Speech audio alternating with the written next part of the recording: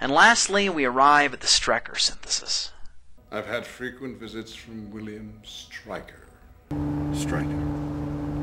His name is Stryker. His name is Colonel William Stryker. Stryker! Here's how the Strecker synthesis works. If we begin with an aldehyde, treat it with trace acid and ammonia, I generate this intermediate, an imine. Probably looks familiar. I can now treat this imine with cyanide. and The cyanide nucleophile goes into the carbon, kicks the electrons up onto the nitrogen, which then gets protonated in acidic solution to give this. I'll let you look at that for a while if you wish. At this stage, you may remember we can convert a nitrile, this carbon triply bonded to nitrogen, into a carboxylic acid by reacting it with acid and water. That gives me this amino acid product. Now, I want you to recognize that every one of these synthetic routes to amino acids that I've just shown you do not give you enantiopure amino acids. In fact, because every one of these syntheses uses achiral materials throughout, all the amino acid products will also be expected to be achiral. That is, they will come out the end of the assembly line all completely racemic. Now, there are ways to separate the two enantiomers that are discussed in your book, but for lack of time, I'm not going to share those with you today.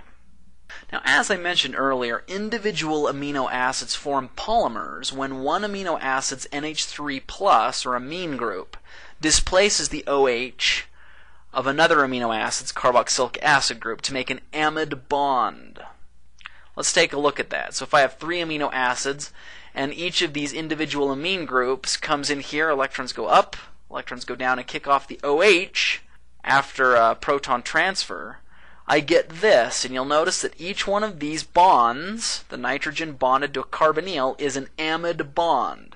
These amide bonds in an amino acid polymer are called peptide bonds. Couple more terms here. The free NH3 plus at this end is called the N-terminal amino acid, and this end of this amino acid chain is called the N-terminus. This end over here is called the C-terminal amino acid, and this end over here is called the C-terminus. Where did they come up with that? Well, the N-terminus is called the N-terminus because it has a nitrogen on it, right? So if I've got the amino acid drawn left to right with my free amine dangling off the left, this is the N-terminus. It has the nitrogen on it. The C-terminus is the end has the carboxylate or the carboxylic acid end dangling off of it. So drawn left to right, the carboxylate group is the C-terminal group. So N-terminus, C-terminus. By convention, you guys should know that when amino acids are drawn in literature, they are generally almost always drawn going left to right, from the N terminus being at the left and the C terminus being at the right.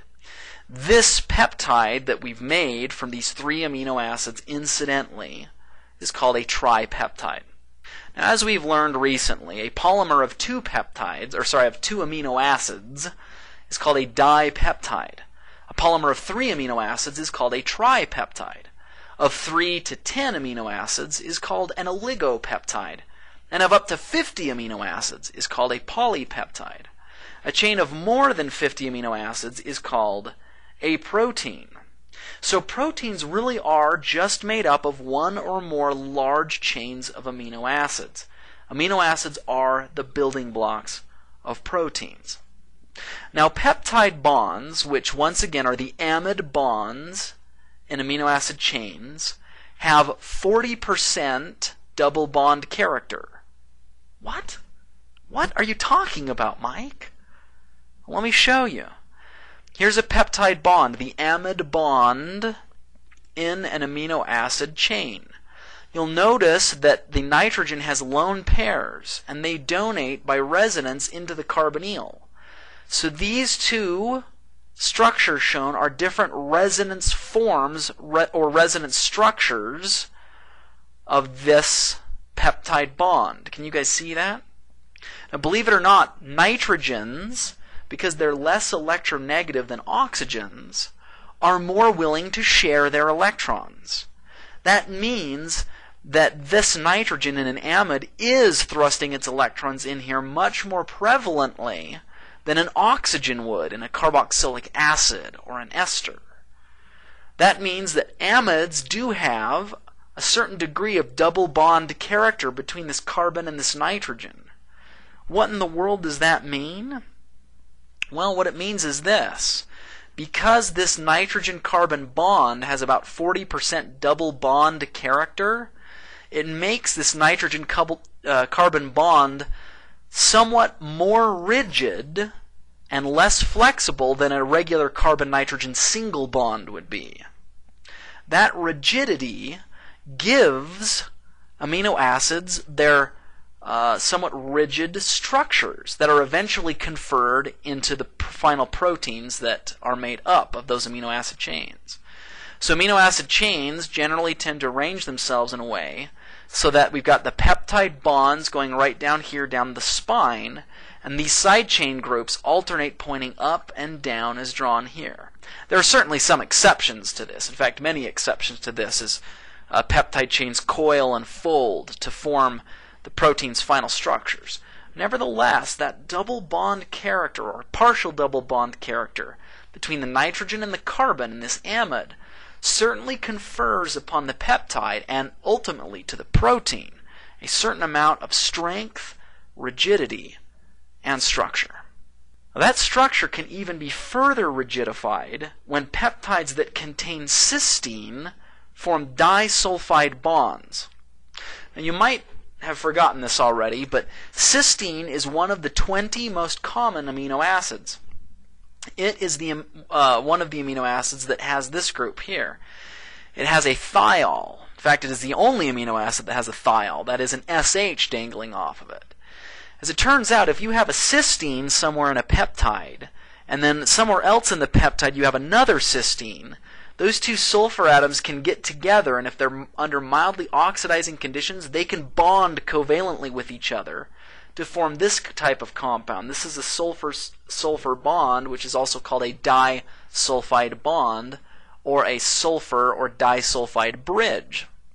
The hilarious thing to me about this is that the individual amino acid cysteine is spelled this way with an E, and once you have a cysteine cysteine dimer, which these two sulfurs have bridged, we now take away the E and call it cystine with an uh, just an I. I frankly don't know if I can honestly pronounce these two words differently.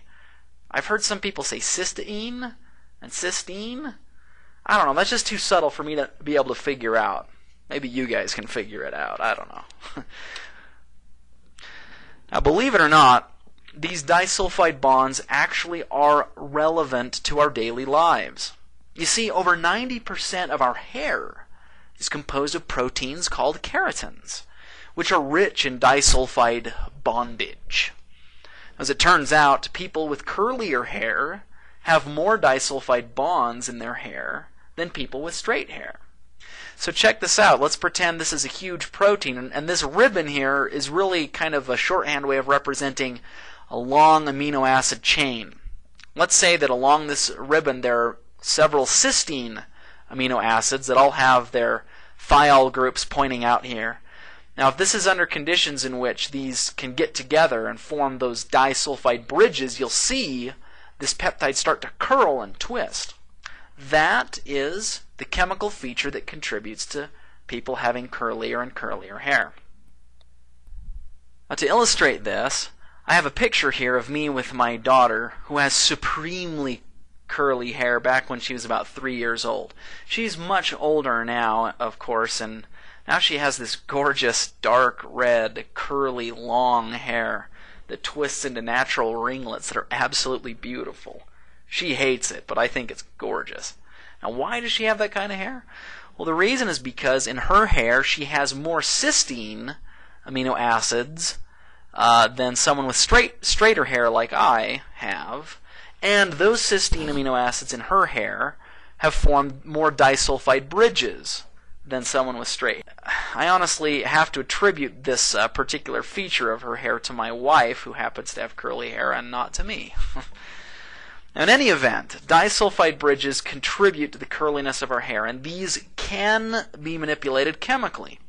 In fact, perm, the magical hairstyling technique that's used to increase hair curliness, actually works by chemically forming disulfide bonds in your hair. The best thing about perm, of course, is the fact that it smells like a horse's anus. I'm just kidding, but if any of you guys know where I can get perm scented uh, air fresheners, please drop me a line. There's nothing more wondrous than coming home to a house that smells like a field of moldering yak carcasses. The sweet smell of perm.